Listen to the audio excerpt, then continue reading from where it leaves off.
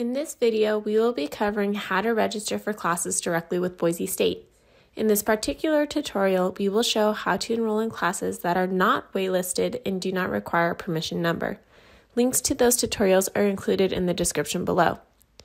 Let's begin by navigating to my.boisestate.edu.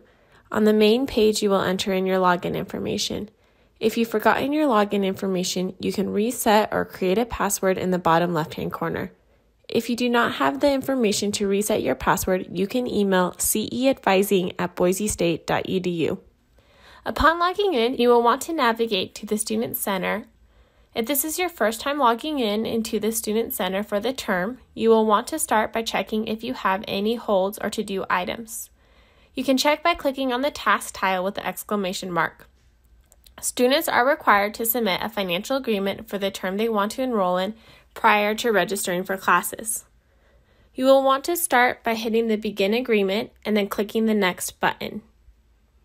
You will be asked to review if all of your contact information is correct, make edits as needed, and hit Confirm and Next. You will do the same steps for your address. You will find the agreement on the final page. Read through the agreement, and when you are finished, click Accept and the Next button. A page should appear indicating that you've completed the financial agreement. After completing the financial agreement, you should arrive back at the Student Center home page. Now you can proceed with enrolling in classes by clicking on the tile Class Search and Enrollment. Begin by clicking on the magnifying glass on the left hand side. Next, you will enter the term that you would like to take the class, and for many students, this will be summer. You can begin by searching for the class you are interested in taking. In this section, you will need to enter shortened text for the course. For example, rather than searching for University Foundations 100, you will want to search for UF 100. To find the shortened text, you can either refer to your degree plan or contact your Boise State advisor. A list of open courses will appear. Some things to pay attention to when selecting your class is the session that it takes place. For example, July 6th through August 8th, dates and times, and instruction mode.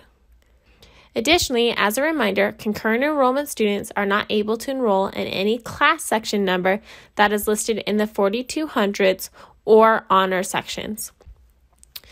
Once you've figured out what section you would like to take, you will want to click on the arrow on the right hand side.